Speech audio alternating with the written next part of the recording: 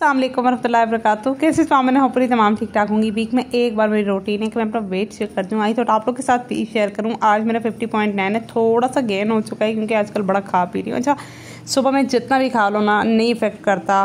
मुझे एक सिस्टर की जो है ना, वो डीएम आया था, एक सिस्टर का, कि मेरा वेट काफ़ी ज़्यादा बढ़ रही है वो। तो आप कोशिश करें ना, रात में कम खाएँ।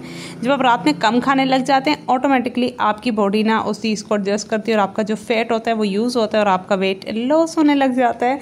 यहाँ पर ना, मैं बस सिंपल सा अपना ब्रेकफास्ट करी हूँ। गर्मी की शिद्दत हद से ज़्यादा बढ़ रही है कराची में तो ऐसा वेदर हो रखा है, अल्लाह माफ़ करे। पता नहीं कौन सी आजमाइश है। अल्लाह पाक जो है ना, वो हमें इस आजमाइश से निकाले। इतनी शदीद गर्मी, इतनी गर्मी के कुछ भी दिल नहीं करता। अब फिर आप बोलेंगे, आप ही अंडा खा रही है। एक को तो आपको पता है, मैं नहीं छोड़ सकती। और नाश्ता करने के बाद जो है ना, आज मेरा क्लीनिंग क्लीनिंग डे था। ये ना दो दिन का कंबाइन ब्लॉग है, ठीक है? तो क्लीनिंग डे है, उससे पहले पहले मैंने जो है ना क्या करना है कि मैंने जाना है कुछ सामान लेने। मेरी सिस्टर के दो सूट आए स्टिच होने के लिए तो वो मैंने स्टिचिंग करके कंप्लीट डिज़ाइन आप लोगों के साथ शेयर करूँगी। पूरी स्टिचिंग नहीं शेयर कर सकती। तो बस थी यहाँ पर मैं आ गई थी लेस वाली शॉप पर और मुझे ना काफ़ी टाइम से हानो रिक्वेस्ट कर रही थी कि मामा मुझे ना एक पिस्तो पिस्तौल लेके दें। ऐसे जैसे वो ढाडा ढाडा ढाडा कर रहे तो ये कर रही थी तो मैंने कहा, चले, यही ले लूँ। बच्चे हैं ना तो बस यहाँ पे मैंने ना, ये मेरी आपी ने यूज़ किया हुआ बी एन बी का फेशियल किट तो मैंने सोचा शॉप वाले से पूछती हूँ कितने का तो ये ना फोर थाउज़ेंड से भी अबव दे रहा था। मैंने कहा इनकी ऑफिशियल पेज पे इतना महँगा नहीं मिल रहा। और आप लोग इतना ज़्यादा महँगा दे रहे हैं, पता नहीं क्या हो जाता है शॉप वालों को। कभी कभार अच्छी चीज़ सस्ते में दे देते हैं कभी कभार बहुत एक्सपेंसिव देते हैं। तो खैर जी मेरे पास रेट वगैरह पता की, क्योंकि मेरे पास ऑलरेडी था, आप ही ने लिया हुआ है तो इन आप लोगों के साथ किसी दिन रिव्यू भी शेयर करूँगी। और जो लड़कियों की आदत होती है एवं ही बिला वजह चीज़ों में उंगलियाँ मारना। बस मेरी तो आदत है मैं नेल पेंट्स में, पेंसिल्स में, लिपस्टिक्स में लाजमी उंगलियाँ मारती हूँ। लूँ ना लूँ, ये अलग बात है, लेकिन मुझे देखने में बड़ा मज़ा आता है। उसके बाद ही मैं शुक्र है, मैं शाम को जल्दी घर पर आ गई थी और इतना अचानक मौसम चेंज हुआ। मैं यही अल्लाह ताला से दुआएँ करती अल्लाह पाक मौसम चेंज कर लें बारिश जो इतने मज़े की ठंडी, ठार बारिश इतने सुकून वाली, और आप यकीन नहीं करेंगे, मैंने इतना ज़्यादा बारिश के पानी में नहाया है ना मतलब बच्चों को लेके हम लोग गए ऊपर, हमने इतना इन्जॉय किए छत पे, और बस उसके बाद जो है ना, ये अब रात का टाइम है। बैठे बैठे बस बच्चे इस वक्त सो गए थे, मुझे नींद नहीं आ रही थी तो मैंने क्या किया, मैंने जो है ना अपने लिए नेल पेंट लगा ली, और ये नेल पेंट इतनी गंदी थी, फिर मैंने इसको लगाई, फिर मैंने इसको रिमूव किया, और फिर ये वाली मैं लगा रही हूँ। चाहिए जितनी भी नेल पेंट्स मुझे मेरी सिस्टर ने दी कुछ ना उसकी नन ने दी है मुझे और कुछ उसने मुझे दी थी। तो कुछ सही है, कुछ जो है ना ख़राबी वाली बड़े मज़े की है। ये इसका कलर ना मुझे काफ़ी अच्छा लग रहा था। और जब आपकी नेल पेंट परफेक्ट लग जाए ना बार बार अपने नाखूनों को देखती मैं तो दिन में सौ बार अपने नेल्स को देख रही होती हूँ कि मेरी नेल पेंट इतनी परफेक्ट कैसे लग गई। अच्छा कोई चीज़ सही में लग जाए ना तो बंदे को बड़ा वो होता है। और यहाँ पे जी नेक्स्ट मॉर्निंग है अभी, और अभी जो है ना मैंने जाना है अपनी फ्रेंड के लिए। आप लोगों के साथ मैंने शेयर किया था, मेरी फ्रेंड जो है ना वो वापस जा रही है अपने इन लॉस के घर पर तो अब मैंने उसे मिलने जाना है उसको सी ऑफ़ करना है गुड बाय बोलना है तो उससे पहले मैंने कहा खाली याद नहीं जाते बुरी बात है। वो भी मेरे लिए इतना स्पेशल गिफ्ट लाई है। मैं भी जो है ना उसके लिए कुछ ना कुछ ले लेती हूँ। तो इधर ना मैं बस उसी के लिए आई हूँ जोड़ा सा ले मैं सोचती हूँ ना जो चीज़ इंसान अपने लिए पसंद कर रहा होता है वही चीज़ दूसरों के लिए भी ले। तो मुझे ना कपड़े पर्सनली बहुत ज़्यादा पसंद है मुझे बड़े अच्छे लगते हैं। पहनती मैं इतनी हूँ नहीं मतलब घर में वही गुजारा दुजारा कर लेती हूँ और कहीं आऊँ जाऊँ तो फिर पहन लेती हूँ। घर पे मैंने कभी मैंने मेरी खाला कहती होती है, तुम ना घर पे इतना कैजुअल रहती हो अच्छे अच्छे कपड़े पहना करो, जो लेती हो वो पहन लिया करो ना। तो ऐसे मेरी आदत नहीं, लेकिन यहाँ पे ना मैं कोशिश कर हूँ अपनी जो है ना फ्रेंड के लिए स्टिच में कुछ सेलेक्ट कर लूँ। यहाँ पे ये है जो स्टाफ था ना गुलेमत वालों का, इतना अच्छा था, इन्होंने काफ़ी मेरी हेल्प भी कराई। लेकिन मेरी जो फ्रेंड है ना उसके लिए मुझे कुछ समझ नहीं लगा। तकरीबन एक, दो घंटे मैंने अपने मियाँ को साथ में ख्वार किया और मुझे फाइनली एक जोड़ा पसंद आया। अब जनाब जोड़ा तो लेके मैं आ गई हूँ, अब मैं उसके घर पे जा रही हूँ तो मैं रेडी होने लगी तो आई थोड़ा आपको ये ड्रेस दिखा दूँ। ये है ना, मैंने लिया था सिंगल कुर्ती थी आई गेस मैंने पोलका डोर से ली थी।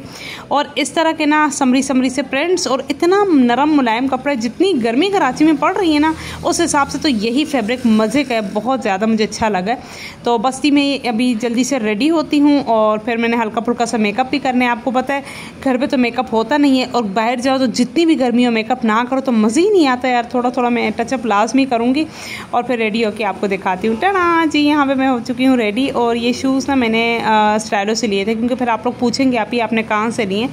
तो ये शूज़ स्टाइलो के हैं, मैं रेडी हूँ, फिर मैं अपनी फ्रेंड के घर पर गई, वहाँ पर मैंने कोई इतना व्लॉग नहीं बनाया क्योंकि हम लोग बातचीत कर रहे थे, आपस में गपशप मार रहे थे और यहाँ पर बस मैं बार बार अपने लेट को देखी जा रही थी क्योंकि बड़ी परफेक्ट लग रही थी ना।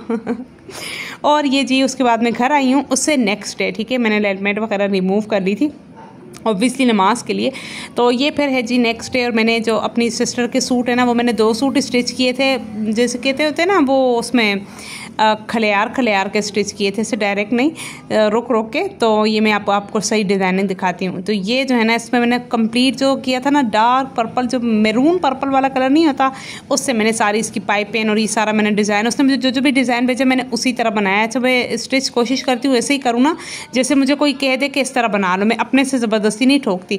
तो ये मुझे बड़ा अच्छा लग रहा था डिज़ाइन तो मैंने ये स्टिच किया। आप लोग बताइएगा मैंने से ये कट का डिज़ाइन बनाया और उसके साथ ट्राउज़र बड़े मज़े का मुझे ना इस तरह जैसे ये लाइन्स लाइन्स वाला फैब्रिक होता है या जैसे बॉक्स वाला मुझे बड़ा अच्छा लगता है।